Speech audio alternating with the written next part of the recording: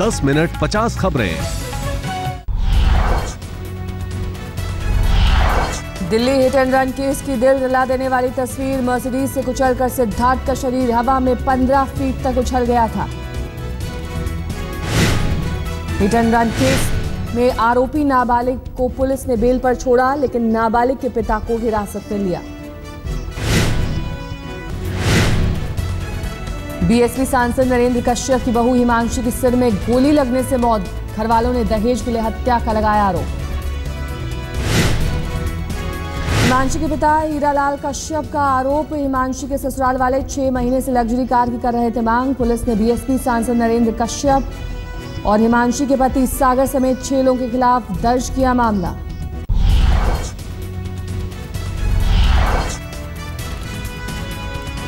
TV actress Pratyusha Banerjee खुदकुशी case में उसके बॉयफ्रेंड राहुल राज की अग्रिम जमानत पर सुनवाई आज। राहुल राज पर गिरफ्तारी की तलवार। अग्रिम जमानत पर सुनवाई से पहले राहुल राज की बढ़ी मुश्किलें। वकील नीरज गुप्ता ने बीच में छोड़ा केस।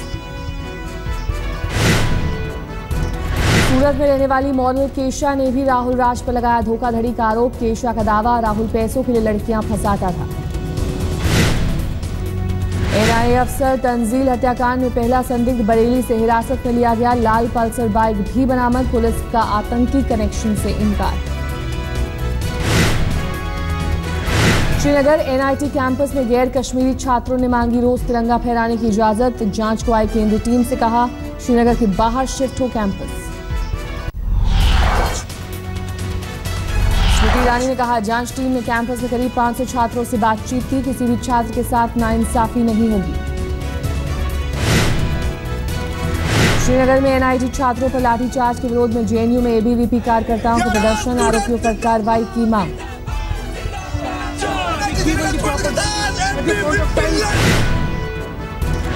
जेटली मानहानि केस में आज दिल्ली के मुख्यमंत्री अरविंद केजरीवाल समेत आपके छह नेताओं की पटियाला हाउस कोर्ट में पेशी ढाई बजे तक पेश होने का आदेश। दिल्ली में 15 अप्रैल से 30 अप्रैल तक लागू होगा ऑड इवन फॉर्मूला परिवहन मंत्री गोपाल राय ने किया ऐलान।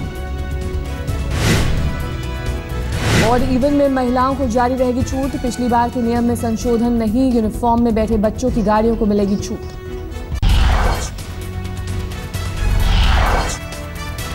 दिल्ली के प्रीत विहार में बायो टॉयलेट का उद्घाटन करने पहुँचे केंद्रीय मंत्री वेंकैया नायडू की सभा में सराफा कारोबारियों ने दिखाए काले झंडे, बीजेपी कार्यकर्ताओं पर मारपीट का आरोप।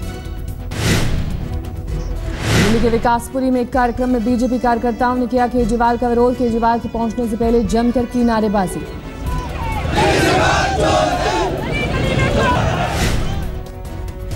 एक्साइज ड्यूटी में बढ़ोतरी के खिलाफ गया में सराफा कारोबारियों ने नेशनल हाईवे जाम किया, पूरे बिहार में चक्का जाम करने की धमकी। गोरखपुर में राप्ती नदी पर पुल बनाने की मांग को लेकर स्थानीय लोगों का जल सत्याग्रह, सरकार के खिलाफ जमकर नारेबाजी।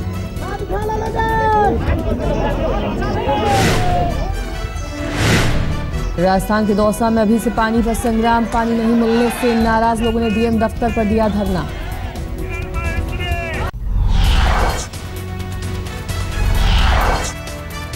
बुधवार को बीजेपी ने मनाया अपना 36वां स्थापना दिवस। दिल्ली में आयोजित कार्यक्रम में बीजेपी अध्यक्ष अमित शाह समेत कई दिग्गजों की मौजूदगी। गुजरात में राष्ट्रीय खाद्य सुरक्षा कानून के तहत माँ अन्नपूर्णा योजना की शुरुआत। गरीब परिवारों को हर महीने दो रुपए किलो गेहूँ और तीन रुपए किलो चावल मिलेगा। असम में कांग्रेस ने तेज किया प्रचार। बुधवार को पूर्व प्रधानमंत्री मनमोहन सिंह ने गुवाहाटी में चुनावी सभा को किया संबोधित।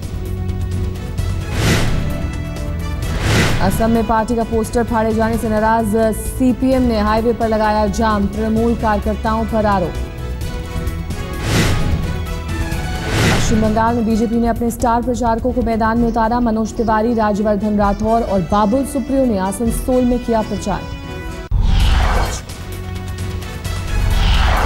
बंगाल के बांकुरा में चुनावी रैली में गृहमंत्री राजनाथ सिंह का ममता पर हमला, कहा बांग्लादेश से आने वाले घुसपैठियों से मेहमान की तरह बर्ताव।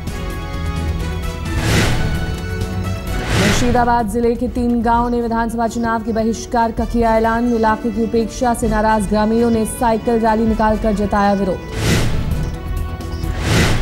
बिहार में शराबबंदी के बाद शराबियों की बिगड़ने लगी हालत। समस्तीपुर में अड़तीस लोग नशा मुक्ति केंद्र में भर्ती। टीम को पटना रेफर किया गया। बीजेपी के वरिष्ठ नेता लालकृष्ण आडवाणी की पत्नी कमला आडवाणी का दिल का दौरा पड़ने से निधन। आज शाम चार बजे दिल्ली के निगम बोध घाट में अंतिम संस्कार। प्रधानमंत्री नरेंद्र मोदी ने आडवाणी के घर जाकर दी श्रद्धांजलि, कहा दुख की इस घड़ी में आडवाणी परिवार के साथ। जयपुर के एक मॉल में चेंजिंग रूम में कपड़े बदलते हुए लड़की ने पकड़ा हिडन कैमरा। पुलिस ने दो लोगों को किया गिरफ़्तार। लखनऊ में बालिका सुधार गृह में एक लड़की के गर्भवती होने की खबर से हड़कम महिला प्रिंसिपल सस्पेंड आला अधिकारियों ने दिए जाँच के आदेश। दिल्ली से सटे गुड़गांव में दो नाबालिग लड़कियों से रेप का सनसनीखेज मामला, एक मामले में जीजा पर ही लगा आरोप। दिल्ली के मुकुंदपुर चौक पर ट्रक से टक्कर में बाल बाल बचा, बाइक सवार दंपत्ति ट्रक के नीचे फंस गई थी बाइक, सड़क पर रगड़ने से दोनों में लगी आग। हैदराबाद में बेटी की चाहत में माँ ने अपने 23 दिन के बच्चे का किया कत्ल। पुलिस ने आरोपी महिला को हिरासत में लिया।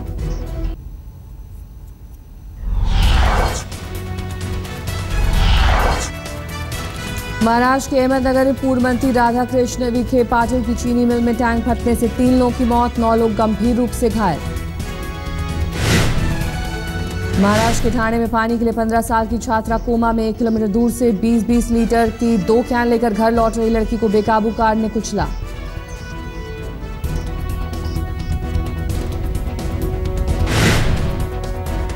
राजस्थान के टोंक में एक आवासीय विद्यालय के हॉस्टल में 10 छात्राओं की अचानक बिगड़ी तबियत, उल्टी 10 की शिकायत के बाद अस्पताल में भर्ती। के नौचंदी इलाके में टायर बैंक अधिकारी के घर लुटेरों ने बोला धावा। बुज़ुर्ग और उसकी पत्नी को बंधक बनाकर लाखों के गहने लूट कर फरार हुए। यूपी के लखीमपुर खीरी में महिला मरीज़ की मौत पर बवाल, परिजनों ने अस्पताल में जमकर किया हंगामा।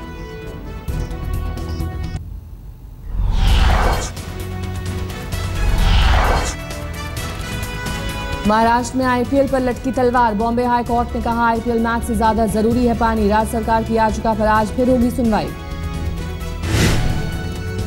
सचिन तेंदुलकर ने महाराष्ट्र के बारामती में क्रिकेट स्टेडियम का किया उद्घाटन। शरद पवार और उनकी बेटी सुप्रिया सुले के साथ क्रिकेटर अजिंक्य रहाणे भी मौजूद।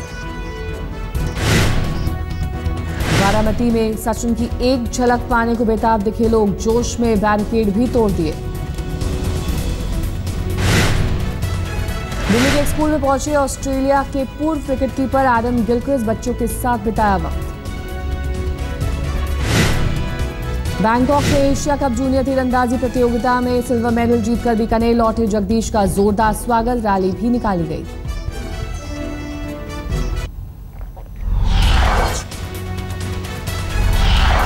क्रिकेटर आशीष नेहरा और युवराज सिंह ने इलाहाबाद में क्रिकेट अकेडमी का किया उद्घाटन, लोगों में दिखा उत्साह।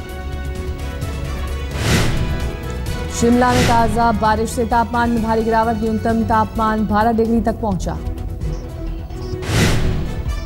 अमेरिका के पेंसिल्वेनिया में एक घर में लगी आग ने कई घरों को किया तबाह। आग की कारणों की हो रही है जाँच। अमेरिका के टेक्सास में 12 साल के बच्चे की हत्या कर उसका खून पीने वाले शैतान को दी जाएगी मौत की सजा। जहरीला इंजेक्शन लगाकर प्राण आतंकी हमले के तेरह दिन बाद ब्रसेल्स से वॉशिंगटन के लिए शुरू हुई विमान सेवा सुरक्षा को लेकर यात्रियों को तीन घंटे पहले एयरपोर्ट आने के लिए कहा गया।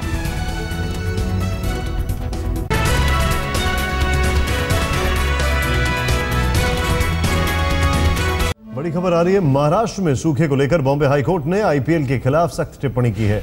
कोर्ट ने राज्य सरकार को फटकार लगाते हुए कहा है कि आईपीएल के मैचों पर इस तरह से पानी जाया नहीं कर सकते। क्या आपको हालात की जानकारी? Public transport